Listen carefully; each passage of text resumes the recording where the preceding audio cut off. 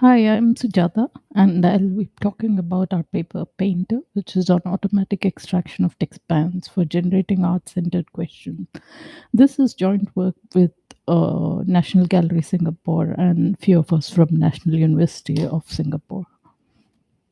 In this talk, I'll be doing a quick introduction to GLAM context first. Basically, what's our motivation for using QG or question generation and reading comprehension, how we can use these models.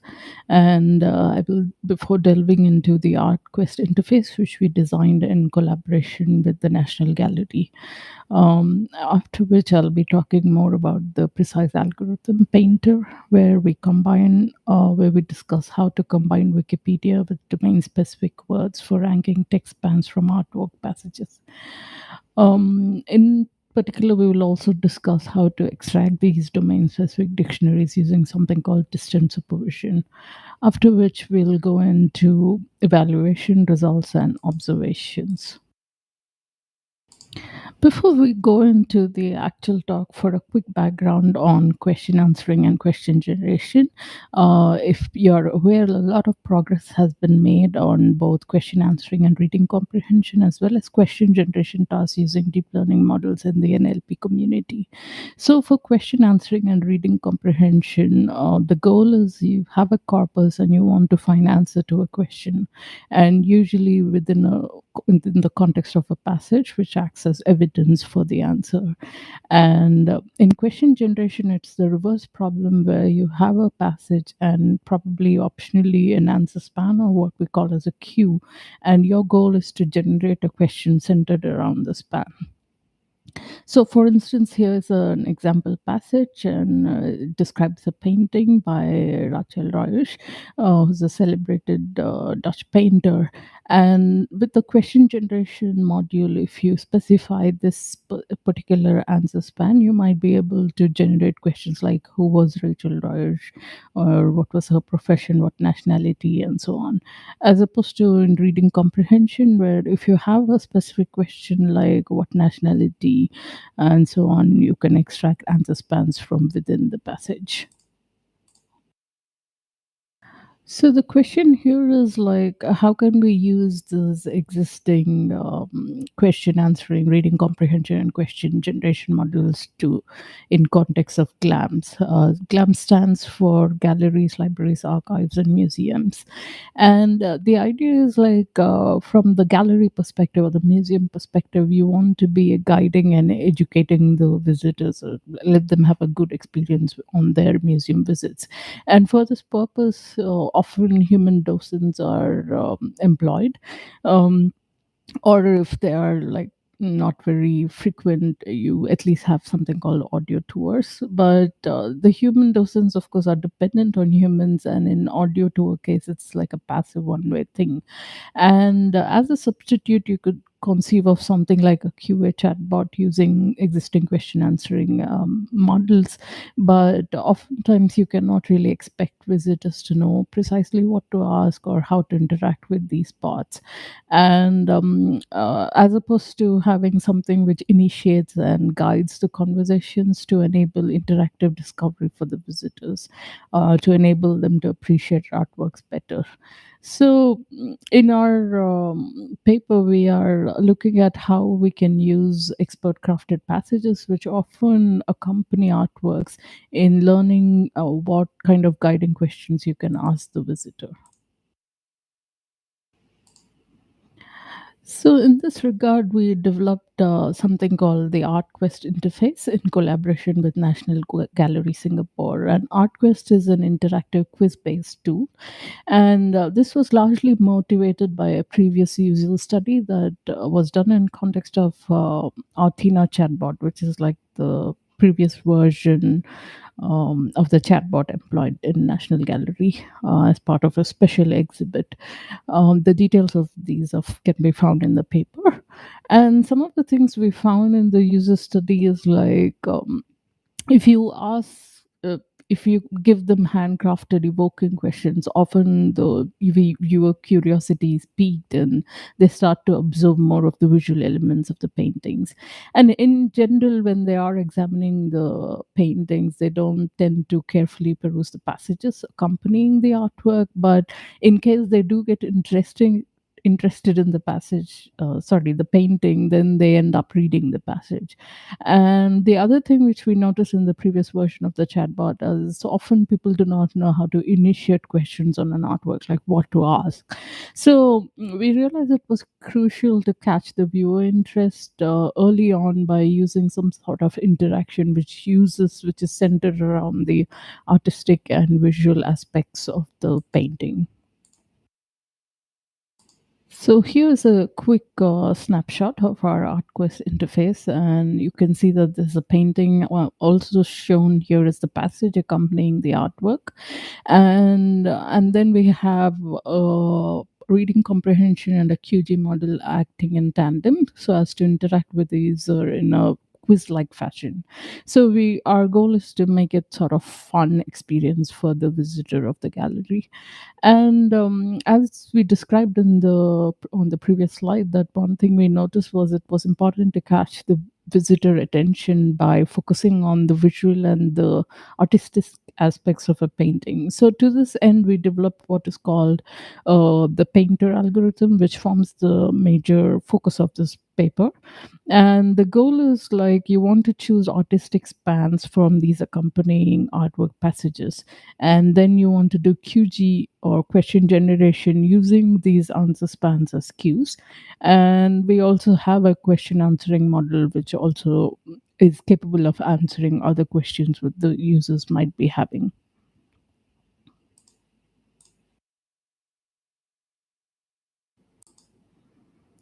Our algorithm painter is an extension of TextRank uh, to handle artworks or paintings, to be more precise.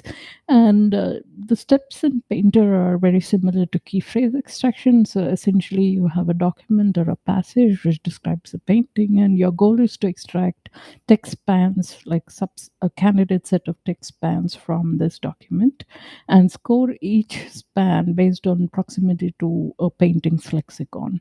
And then we choose the top uh, spans to do question generation.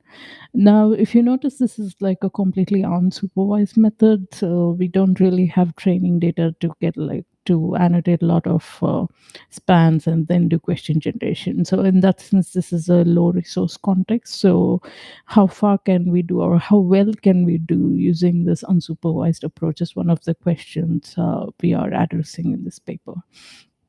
And this is in contrast to most works, existing studies uh, going on in QG right now in the NLP community, uh, where the focus is on how to do better QG given like a labeled uh, data set, as opposed to like how do you improve uh, like Q generation or context selection to do like uh, QG, which targets a certain kind of questions.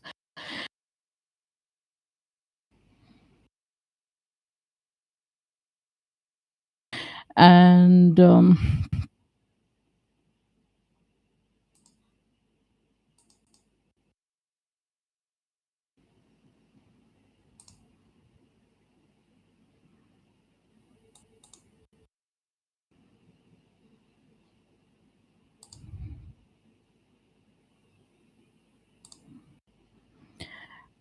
Uh, for a quick background on uh, random walk models, uh, they are essentially used to measure something called vertex importance, and they're very popular in the web and social network community. So, supposing there's a graph, and um, the way you measure vertex importance, one way to measure vertex importance is you uh, look at how well connected they are to other important vertices. So, for instance, like if you're an important person, you are there's a higher chance that you're connected to other important persons and so on. So this notion can be uh, translated to word graphs as well and uh, which was what was done in text rank algorithm. And um, the idea is like if you have this graph um, of interconnected vertices and you start doing random walk on this graph uh, in the limit where you stop um, uh, the the vertex where you stop captures a notion the probability of stopping at a vertex captures the notion of importance of this vertex. So in our case we also want to pin down this vertex importance uh, to make instead of it being like independent we want it dependent on the text span against which we are measuring um, and also the lexicon. So these are the extensions we make to text rank in our paint algorithm So I'm uh, skipping mm, the math in the interest of uh, time and focus. Uh, but essentially, uh, as opposed to text rank, where uh, you can restart from any vertex in the graph, the change that we make is that you are only concerned with words in a given text span. Uh, so we restrict the jumps to choosing words in a given text span. So once you make this change, the stopping probability is uh, given by the formula shown on the screen. And uh, so, what's the probability of stopping at a word uh, if you're walking with ran- if you're doing random walk with restarts uh, restricted to this span. And then once you extend it to the whole lexicon the painter score for a span can be uh, computed using uh, the second formula on the screen. So if you look at this it's basically painter becomes like a lexicon sensitive variation of text rank on word graphs. So in some sense it's very similar to the topic sensitive variation of page rank if you're familiar with it uh, which was designed for web graphs And at this point, another question we we might have is like, okay, so we have uh, words for a text span, but where are we getting words of the lexicon? Is it expert compile and so on? And uh, we uh, compile this lexicon using what is called distant supervision, which is our alternative to expert created lists. And the idea is how can you use document level? Can can you use document level labels to compute word level labels? So this is the question which is often addressed in distant supervision works. So in our case, we used uh, Wikipedia once again, where um, if you're familiar with Wikipedia, it also every page in Wikipedia is also assigned to um, certain categories, and the categories are arranged in a hierarchy. So what we did was we take um, if we consider all the documents in the wikipedia and only the documents a subset of documents which is assigned to the category paintings what you can do is compute the probability of a word being associated with painting documents versus uh, any other random document. So we use this probability of seeing the word across all categories categories versus the paintings category and just compile the list of words such that the probability with the paintings documents is significantly higher than like uniform probability across all categories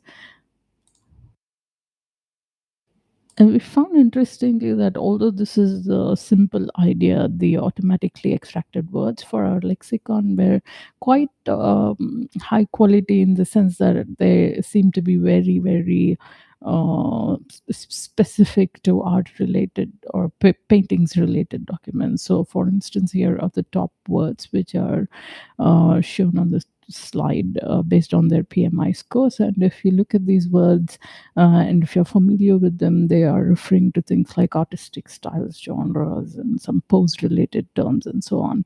So uh, we found that uh, if we use the category labels uh, in Wikipedia for painting specifically, we are able to actually extract words which are highly representative of painting passages. And on the right are also some words where the the words with painting probability significantly higher, like 10 times higher than like uniform probability. And you see that uh, it has words like portrait, canvas, composition, and so on, which is uh, very likely to be like a painting related word.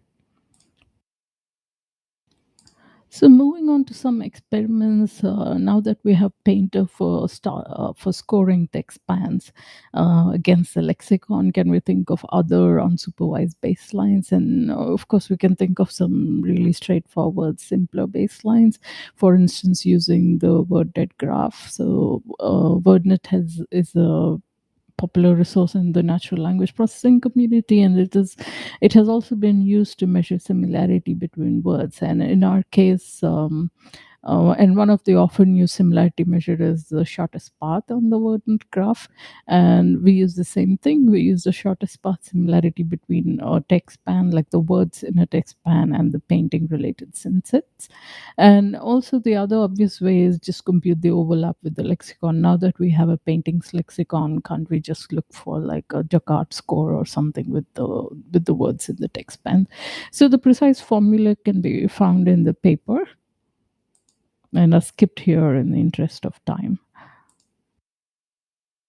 For evaluation, uh, we collected two data sets. The first one was uh, from the National Gallery Singapore, and it, it, it, comprises of expert return articles on paintings by this pioneer artist called Georgette Chen. And the other publicly available uh, set of articles were retrieved from Encyclopedia Encyclopedia Britannica, and these are articles describing Renaissance artworks. And these are again linked. Uh, the links are provided in the paper, and uh, both these sets uh, of articles were written by art experts, and there are uh, descriptive of specific paintings in the collection. And here are some statistics. And uh, one thing to notice here is like uh, the data sets are pretty small and which is also a big reason why we can't really use uh, supervised models because uh, uh in addition to the labeling costs of course. And uh, and also why we prefer like a non-supervised method which can deal with this low resource context. And um, in addition to the less number of articles even the sentences or the article sizes or these passages are really small ranging from 3 to 10 sentences in the first data set and 7 to 15 in the second data set and uh, in this table we also show ultimately the number of questions that were extracted by our qg module for each of these data sets and on average we have a decent number of questions which can be used to interact with uh, the visitors as part of the ArtQuest interface. And here's some quick results uh, comparing uh, the painter extracted spans with the other baselines, the lexical overlap and the WordNet uh, baseline. And you can see here that painter is able to extract spans from painting articles uh, significantly better as shown by the precision at k-scores. So I just wanted to mention here that we are interested in capturing the visitor uh, attention. So it's important to um, showcase these artistic and visual questions early on in the interaction because uh, that that apparently is of more interest to the visitors as uh, as seen in our user study results. So which is also the reason we are evaluating uh, the performance at top uh, positions like k equal to 3 and so on. And here's also another anecdotal uh, example for the passage shown early on in the presentation.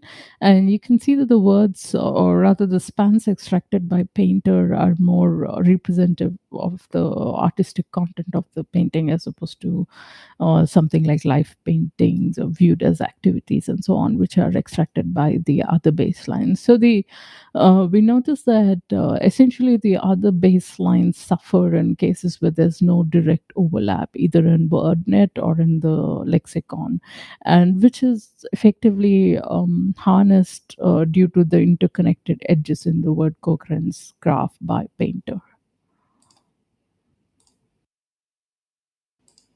And since we are using these spans to generate questions, we also uh, used uh, a user study for evaluating the kind of questions which were generated by a model. I just wanted to mention here that the QG and the RC module that we are using uh, are basically off the shelf state of the art modules. So they are essentially from ProphetNet and Allen NLP, which were state of the art at that time. And um, we used the questions generated by ProphetNet and did a user study, uh, gathered crowd annotations in one case and expert annotations in the case of the Georgette Chen uh, dataset. And um, essentially, people were asked to rank or rate these questions along uh, four dimensions. Fluency is the question grammatically correct? Relevance is it really related to the artistic aspect of the uh, artwork? Um, is it answerable? And how correct is the machine extracted answer? So, th- this gives us a sense of how. Uh, uh, we are doing with respect to the art quest, um, the interactions on the art quest interface.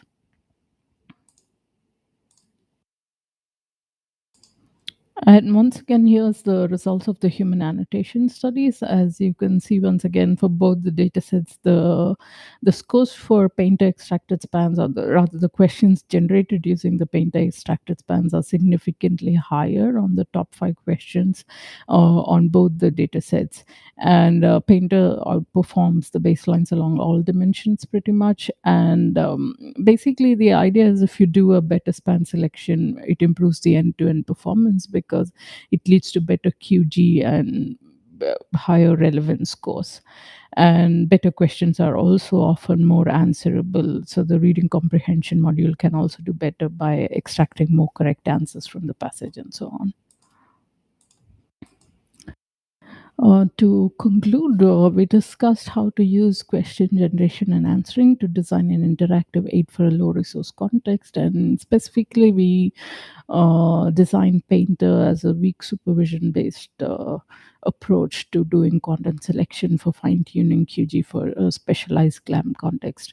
Uh, so, our, our context is an example of an application where the question types, other than factual or reasoning questions, which are often studied in NLP, are of more importance. Another example for these kinds of scenario is the educational scenario where uh, you may want mm, instead of targeting factual questions which are often about recall or memory you might want to have questions related to understanding a given concept or applying a given concept. And similarly in museums you you can think of other questions like reflective questions like why do you think the artist uh, uh, showed something a certain way? and so on um, so that's all for this task. More details can be found in the paper, and we also have a GitHub repository if you're interested in certain in uh, in the data and code and so on. And if you have any questions, please uh, feel free to reach me. Uh, thank you, everybody, for your attention.